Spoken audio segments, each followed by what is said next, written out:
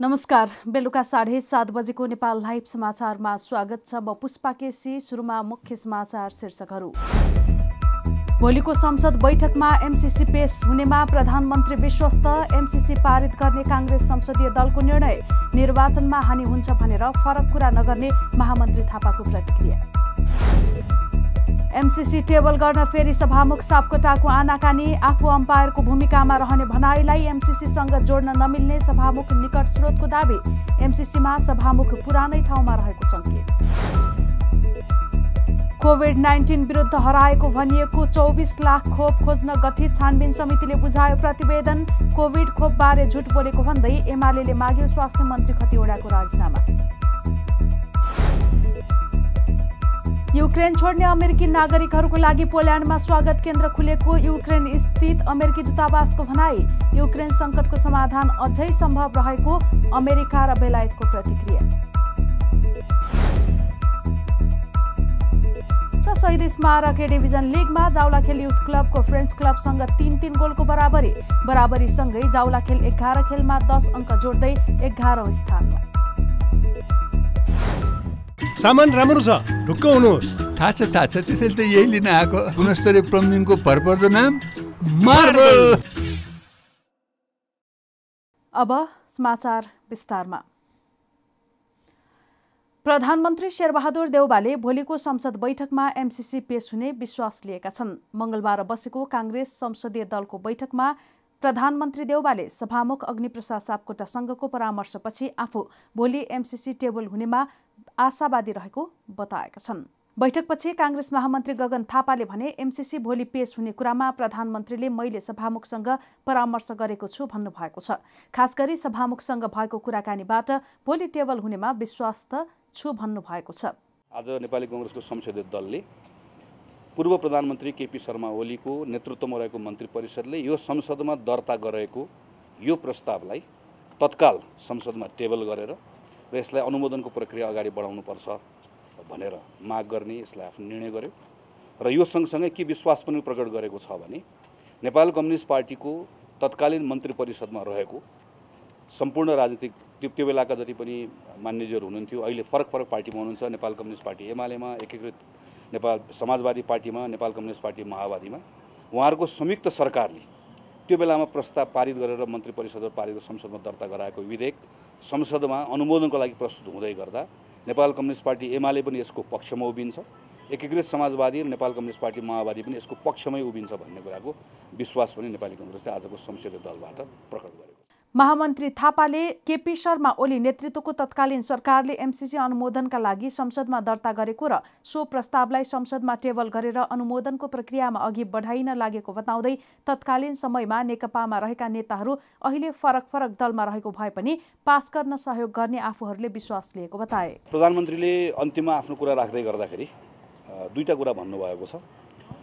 एउटा यो नेपाली कङ्ग्रेसको नेतृत्वको सरकारले अहिले प्रस्तुत गर्न लागेको विधेयक होइन प्रस्ताव होइन। यो मैले अघि भनेको जस्तै अगाडिको तिथिमिति स्मरण गर्दै प्रस्ताव प्रस्तुत गरेको र प्रतिपक्षमा रहँदै गर्दा र सरकारमा रहँदै गर्दा नेपाली कङ्ग्रेसले यो डबल स्ट्यान्डर्ड राख्दैन। र यसको तत्कालीन नाफा घाटा के हुन्छ भन्ने कुरालाई काङ्ग्रेसले पनि त्यस त्योप्रति चिन्तित भएर आफ्नो कर्तव्यबाट च्युत भयो भने हामी चाहिँ यो यो सन्दर्भमा नेपाली कङ्ग्रेसको आफ्नो छुट्टै परिचय रहँदैन। त्यसैले यसको नाफाघाटा जेसुकै होला नेपाली कङ्ग्रेसले आफ्नो कर्तव्य पुरा गर्छ भन्ने एउटा कुरा। र दोस्रो दोस्रो कुरा प्रधानमन्त्रीको तर्फबाट नेपाली कङ्ग्रेस संसद दलको नेतको नेताको हैसियतबाट मैले सभामुखलाई भनिसकेको छु कि अब यो संसदमा टेबल हुनुपर्छ र सबैले यसमा भाग लिनुपर्छ भनिसकेको छु भन्ने कुरा दोस्रो कुरा राख्नु महामन्त्री थापाले निर्वाचनमा हानि हुन्छ भनेर काङ्ग्रेसले एमसिसीका बारेमा फरक कुरा नगर्ने पनि बताएका छन्। उनले एमसिसीका कारण चुनावमा हानि पुग्ने केही सांसदहरूले बताएको भए पनि आफ्नो कर्तव्यबाट काङ्ग्रेस च्युत नहुने बताए। काङ्ग्रेस संसदीय दलको बैठकमा पूर्व अर्थमन्त्री रामशरण महतले एमसिसी सम्झौतामा रहेका व्यवस्थाबारे सांसदहरूलाई जानकारी दिएका थिए। बैठकमा काङ्ग्रेस नेताहरूले एमसिसी बारे जनतामा भ्रम छरिएको भन्दै त्यसलाई चिर्न सांसदहरूलाई आग्रह गरेका थिए। यस्तै काङ्ग्रेसले प्रधान न्यायाधीश चोलेन्द्र शमशेर राणा विरुद्ध ल्याइएको महाभियोग प्रस्ताव पारित गर्न अन्य राजनीतिक दलहरूलाई पनि आह्वान गरेको छ। महाभियोगको प्रस्तावमा अन्य राजनीतिक दलहरूसँग छलफल गर्ने निर्णय काङ्ग्रेसले गरेको छ। सभामुख अग्निप्रसाद सापकोटाले प्रतिनिधि सभा कार्यव्यवस्था परामर्श समितिको बैठक आह्वान गरेका छन्। बैठक भोलि बुधबार बिहान साढे एघार बजे नयाँ बानेश्वर स्थित संसद भवनको शङ्कर हलमा बस्ने गरी बोलाइएको छ। भोलि दिउँसो एक बजेका लागि प्रतिनिधि सभाको बैठक समेत आह्वान भएको छ। यस्तै भोलि बुधबार बस्ने तय भएको प्रतिनिधि सभा बैठकको सम्भावित कार्यसूची पनि सार्वजनिक भएको छ। संसद सचिवालयले मङ्गलबार बेलुका सम्भावित कार्यसूची सार्वजनिक गरेको हो। सम्भावित कार्यसूचीमा एमसिसी सम्झौता टेबल गर्ने सम्बन्धी विषय भने समावेश भएको छैन। सभामुख अग्निप्रसाद सापकोटाले बुधबार दिउँसो एक बजेका लागि बोलाएको प्रतिनिधि सभा बैठकमा तीन शोक प्रस्ताव र थारू आयोगको वार्षिक प्रतिवेदन पेश गर्ने सम्भावित कार्यसूचीमा उल्लेख छ। माघ सोह्र गतेदेखि दलहरूका बीचमा एमसिसीकै विषयमा विवाद हुँदा प्रतिनिधि सभाको बैठक सूचना टाँस गरेर स्थगित हुँदै आएको छ। मङ्गलबार बिहान मात्र प्रधानमन्त्री शेरबहादुर देउबाले सभामुख सापकोटालाई फोन गरेर कार्यव्यवस्था समितिको बैठक बोलाउन आग्रह गरेका थिए।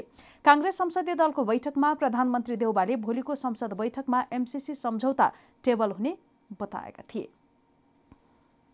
अमेरिकी नियोग मिलेनियम च्यालेन्ज कर्पोरेसन अर्थात् एमसिसीसँगको सम्झौतालाई प्रतिनिधि सभाको बैठकमा टेबल गर्ने कुरामा सभामुख अग्निप्रसाद सापकोटाले फेरि आनाकानी गरेका छन्। मङ्गलबार संघीय संसद भवन नयाँ बानेश्वरमा बसेको काङ्ग्रेस संसदीय दलको बैठकमा सभामुख सापकोटा एमसिसी टेबल गर्ने प्रक्रियामा अपेक्षित सकारात्मक नदेखिएको ब्रिफिङ भएको हो। सभामुख सापकोटाको भूमिका स्पष्ट नदेखिएपछि प्रधानमन्त्री शेरबहादुर देउवाले संसदीय दलकी सचेतक पुष्पा भूषाललाई सभामुख सापकोटासँग फोन सम्वाद गर्न लगाएका थिए। बैठक जारी रहँदै सचेतक भूषालले सापकोटालाई फोन गरेर कार्य व्यवस्था परामर्श समितिको बैठक बोलाउन आग्रह गरेकी थिइन्। सांसदहरूले हिजोको बैठक र एमसिसी टेबल हुने विषयमा प्रश्न उठाउनु भएको थियो। प्रधानमन्त्री तथा पार्टी सभापतिज्यूले पुष्पा भूषाललाई भनेर सभामुखसँग कुरा गर्न लगाउनु भएको थियो। काङ्ग्रेसका एक सांसदले भने तर एमसिसी टेबल हुने कुरामा ढुक्क हुन सकिएन। सभामुख सापकोटाले सोमबार बोलाइएको सर्वदलीय बैठकपछि आफू अम्पायरको भूमिकामा रहने भन्दै एमसिसी टेबल गर्न सहमत भएको सङ्केत गरेका थिए। तर उक्त भनाई एमसिसीसँग जोड्न नमिल्ने सभामुख निकट स्रोतको दावी छ। एमसिसीमा सभामुख सापकोटा पुरानै ठाउँमा रहेको सङ्केत स्रोतले गरेको छ। काङ्ग्रेस संसदीय दलको बैठकले एमसिसी पास गर्ने निर्णय गरेको छ।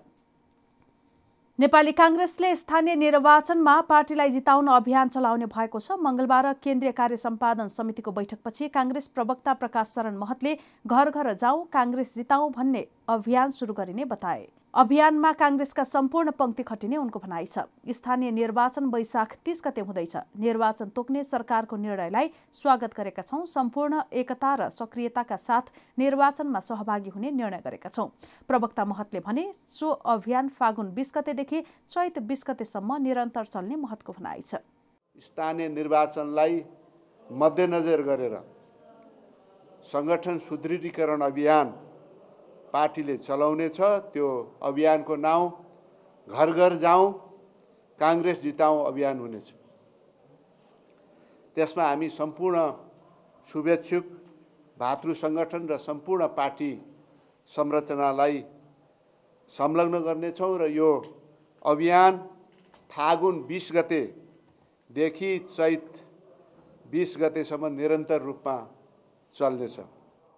यस्तै बैठकले तदर्थ समितिमा चलेका दसवटा भातृ संस्था भङ्ग गर्ने पनि निर्णय गरेको छ।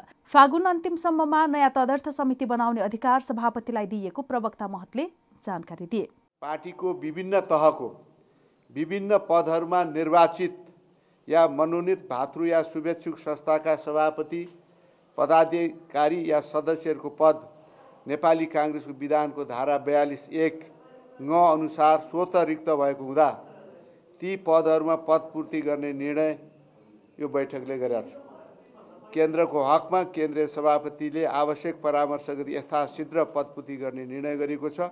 अन्य तहको रिक्त पदहरूमा सम्बन्धित केन्द्रीय भातृ सङ्गठनहरूले सम्बन्धित जिल्लाको सभापतिहरूसँग छलफल गरेर त्यो पदपूर्ति गर्ने काम हुनेछ। त्यस्तै गरेर यो अवधि समाप्त भइसकेका भातृ सङ्घका केन्द्रीय समितिहरू नेपाली काङ्ग्रेसको विधानको धारा बयालिस एक च अनुसार स्वत विघटन भएको हुँदा पार्टी केन्द्रीय सभापतिले आवश्यक परामर्श गरेर फागुन मसान्तभित्र निम्न भातृ सङ्गठनको केन्द्रीय तदर्थ समिति गठन गर्ने निर्णय गरिएको छ। प्रवक्ता महतले प्रतिनिधि सभाको भोलिको बैठकको कार्यसूचीमा एमसिसी थपिने पनि बताएका छन्। त्रिभुवन अन्तर्राष्ट्रिय विमानस्थल मार्फत आन्तरिक उडान गर्ने यात्रुहरूका लागि अब मोबाइलमा डाउनलोड गरिएको टिकट अथवा प्रिन्ट गरिएको टिकट अनिवार्य गरिएको छ। आन्तरिक उडान गर्ने यात्रुहरूले अब पिएनआर नम्बर मात्रै देखाएर छिर्न नपाउने भएका हुन्। विमानस्थल छिर्न मोबाइलमा डाउनलोड गरिएको टिकट अथवा प्रिन्ट गरिएको टिकट अनिवार्य गरिएको विमानस्थलका महाप्रबन्धक भोला प्रसाद गुरागाईले जानकारी दिए। यसअघि कतिपय यात्रुहरू पिएनआर नम्बर मात्रै लिएर पनि जाने गरेका थिए। यो नम्बर मात्र लिएर जाँदा व्यक्तिको नाम ठेगाना लगायत विवरण नखुल्ने हुँदा अप्ठ्यारो सिर्जना भएको भन्दै यो व्यवस्था लागू गरिएको बताइएको छ। महाप्रबन्धक गुरागाईका अनुसार मोबाइल तथा इलेक्ट्रिक डिभाइसमा टिकट डाउनलोड गरिएको भए देखाएर पनि प्रवेश पाइनेछ। कोभिड नाइन्टिन विरुद्धको हराएको भनिएको चौबिस लाख खोप खोज्न गठन गरेको छानबिन समितिले आफ्नो प्रतिवेदन बुझाएको छ। डाक्टर गुणराज लोहनीको संयोजकत्वमा बसेको समितिले सोमबार स्वास्थ्य तथा जनसङ्ख्या मन्त्री विरोध खतिवडालाई प्रतिवेदन बुझाएको हो। खोपको बारेमा छानबिन गरी स्वास्थ्य मन्त्रीलाई उक्त प्रतिवेदन बुझाइएको समितिका सदस्य सचिव वरिष्ठ स्वास्थ्य प्रशासक डाक्टर गुणनिधि शर्माले बताए। उक्त प्रतिवेदन स्वास्थ्य मन्त्री खतिवडाले अध्ययन गरेपछि मात्र बाहिर सार्वजनिक गरिने बताइएको छ। हराएको भनिएको गरिएको चौबिस लाख खोपको खोजीका लागि मन्त्रालयका प्रमुख विशेषज्ञ डाक्टर लोहनीको संयोजकत्वमा पाँच सदस्यीय छानबिन समिति गठन गरिएको थियो। यसैबीच कोविड खोपको विषयमा झुट बोलेको भन्दै प्रमुख प्रतिपक्षी दल नेकपा एमाले स्वास्थ्य तथा जनसङ्ख्या मन्त्री विरोध खतिवडाको राजीनामा मागेको छ। एमालेको स्वास्थ्य तथा जनसङ्ख्या विभागका प्रमुख योगेश भट्टराईले मंगलबार एक विज्ञप्ति जारी गर्दै आफ्नो पार्टीका अध्यक्ष केपी शर्मा ओली नेतृत्वको सरकारलाई बदनाम गर्न स्वास्थ्य मन्त्री खतिवडाले कोविड खोपको विषयमा झुट बोलेको उल्लेख गरेका छन्। मन्त्री खतिवडाले एउटा टेलिभिजन कार्यक्रममा तत्कालीन प्रधानमन्त्री ओली नेतृत्वको सरकारका बेलामा आफू स्वयंले कोविड विरुद्धको पहिलो खोप पाँच हजार रुपियाँमा किनेर लगाएको भनिदिएको अभिव्यक्तिप्रति गम्भीर ध्यान आकर्षण भएको भट्टराईद्वारा जारी विज्ञप्तिमा उल्लेख छ। मन्त्री खतिवडाले तत्कालीन अवस्थामा निजामती कर्मचारी अस्पताल बानेश्वरमा पहिलो मात्रा खोप दुई हजार सतहत्तर फागुन उन्नाइस गते लगाएको अभिलेख सुरक्षित रहेको पनि भट्टराईले विज्ञप्तिमा उल्लेख गरेका छन्। झुट बोल्ने व्यक्ति नैतिक रूपमा मन्त्री पदमा बसिरहन अनुचित हुने भएकाले खतिवडाले तत्काल राजीनामा दिनुपर्ने विज्ञप्तिमा माग गरिएको छ। हामी नेपाल लाइभ समाचारमा छौँ। अब अन्तर्राष्ट्रिय समाचार।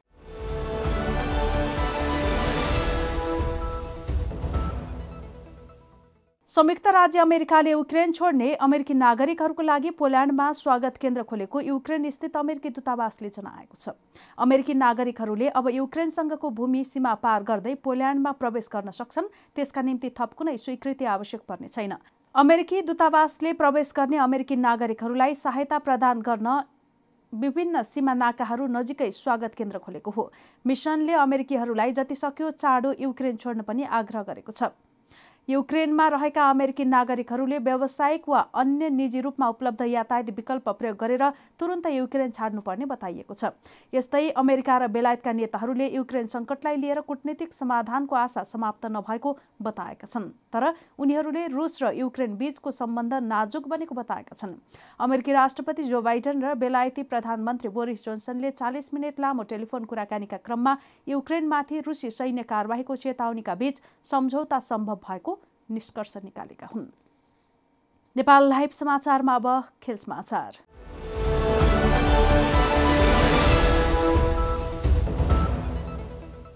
शहीद स्मारक ए डिभिजन लिग फुटबलमा जाउलाखेल युथ क्लबले फ्रेन्ड्स क्लबसँग बराबरीमा रोकिएको छ। सातो बाटो स्थित एन्फा कम्प्लेक्समा मङ्गलबार भएको खेलमा जाउलाखेल फ्रेन्ड्स क्लबसँग तीन तीन गोलको बराबरीमा रोकिएको हो। जाउलाखेलका लागि लोएक एन्जिमी कोहिमले दुई गोल गरे यस्तै रूपबहादुर लामाले एक गोल गरे। फ्रेन्ड्सका जमुल एन्थोनी फ्रान्सियसले दुई गोल गरे।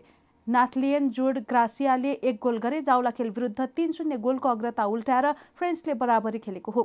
यस बराबरीसँगै जाउलाखेलले एघार खेलमा दस अङ्क जोडेको छ। जाउलाखेल एघारौँ स्थानमा रहेको छ। फ्रेन्चले एघार खेलमा सात अङ्क जोडेको छ। फ्रेन्च बाह्रौँ स्थानमा छ। यस्तै अर्को खेलमा ब्रिगेड बोइज र च्यासल युथ क्लबले पनि बराबरी खेलेका छन्। मङ्गलबार भएको खेलमा ब्रिगेड र च्यासलले गोलरहित बराबरी खेल्दै अङ्क बाँडेका हुन्। त्रिपुरेश्वर स्थित दशरथ रङ्गशालामा पुच्छरका दुवै टोलीले फितलो खेल प्रदर्शन गरेको थियो। बराबरीसँगै ब्रिगेडले एघार खेलमा सात अङ्क जोडेको छ ब्रिगेड तेह्रौँ स्थानमा रहेको छ। च्यासलले एघार खेलमा छ अङ्क जोड्दै पुच्छारमा रहेको छ। सामान राम्रो छ ढुक्क हुनुहोस्। थाहा छ थाहा छ। त्यसैले त यही लिन आएको गुणस्तरीय प्लम्बिङको भरपर्दो नाम मार्बल। नेपाल लाइभ समाचार सकिएको छ। समाचारको अन्त्यमा मुख्य समाचारका शीर्षकहरू फेरि एकपटक। भोलिको संसद बैठकमा एमसिसी पेश हुनेमा प्रधानमन्त्री विश्वस्त। एमसिसी पारित गर्ने काङ्ग्रेस संसदीय दलको निर्णय। निर्वाचनमा हानि हुन्छ भनेर फरक कुरा नगर्ने महामन्त्री थापाको प्रतिक्रिया। एमसिसी टेबल गर्न फेरि सभामुख सापकोटाको आनाकानी आफू अम्पायरको भूमिकामा रहने भनाइलाई एमसिसीसँग जोड्न नमिल्ने सभामुख निकट स्रोतको दावी। एमसिसीमा सभामुख पुरानै ठाउँमा रहेको सङ्केत।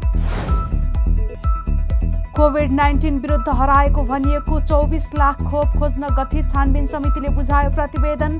कोभिड खोपबारे झुट बोलेको भन्दै एमाले माग्यो स्वास्थ्य मन्त्री खतिवड़ाको राजीनामा। युक्रेन छोड्ने अमेरिकी नागरिकहरूको लागि पोल्यान्डमा स्वागत केन्द्र खुलेको युक्रेन स्थित अमेरिकी दूतावासको भनाई। युक्रेन सङ्कटको समाधान अझै सम्भव रहेको अमेरिका र बेलायतको प्रतिक्रिया। शहीद स्मारक डिभिजन लिगमा जाउलाखेल युथ क्लबको फ्रेन्ड्स क्लबसँग तिन तिन गोलको बराबरी। बराबरीसँगै जाउलाखेल एघार खेलमा दस अङ्क जोड्दै एघारौँ स्थानमा। नेपाल लाइभ समाचार आज यति नै। हाम्रा अन्य कार्यक्रम Nepal लाइभको Facebook page YouTube channel Twitter र हाम्रो वेबसाइट नेपाल लाइभ डट कममा पढ्न र हेर्न सक्नुहुनेछ। नमस्कार।